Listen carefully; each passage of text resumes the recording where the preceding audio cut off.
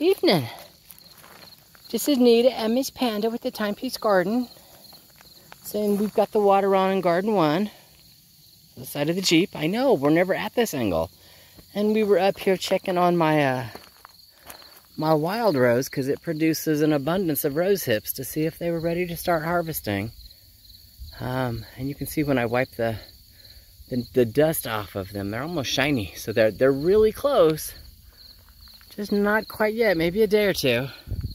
I think we get a little rain or something in the next couple of days, they'll be ready to go. Having said that, while I was up here looking at the rose hips, I found, and I'm not trying to disturb him, that is a monarch caterpillar. Does that make sense? Who has crossed the road because my butterfly weed is over there by the Jeep, but he's crossed the road to come over here where there is no food source to go ahead and make his chrysalis. So he is in the middle of his transformation to become a monarch butterfly. He's done eating. And he's just picked this perfect little hiding space. You know, had I not come over to uh, check the uh, the rose hips, I'd never have seen him. So he's, he's down there. There's my finger, finger, finger. There it is. He's way down there. Just hanging out. Doing his thing. So, and then also having come over here and checked the rose hips, while that side of my arch is awesome, this side of my arch has decided to not stick in the ground. So, this fall, after I harvest rose hips and go ahead and cut the rest of this back. Um, I won't lie, I like the I like the look of the red rose hips with my yellow goldenrod. You know, I got some little blue chicories over here in bloom. You know, chicory, coffee substitute. Yeah, I don't drink it. Um, it's all right though. Does that make sense? This is real, a very cute, for me, it's a very cute fall picture. Um, which is why I don't cut it back when I start cutting back the rest of the, the rest of the hillside. I actually let it go through its fall changeover and then I'll do it. I'll come in here and I'll cut all the stuff back, cut it down. Again, that keeps the lights being able to come up here so Panda's got a play area when I go into darkness at 5 o'clock.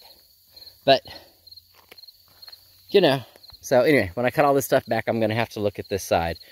Like this, it doesn't look crazy, but I don't know if you can tell on film. There you go got an Alice in Wonderland lean to it, and it can't do that.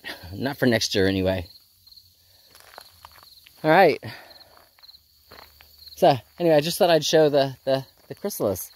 You know, the monarch caterpillar. Getting ready to do his thing. Or her thing. So, y'all have an awesome one? Miss Panda and I. We'll talk to you later.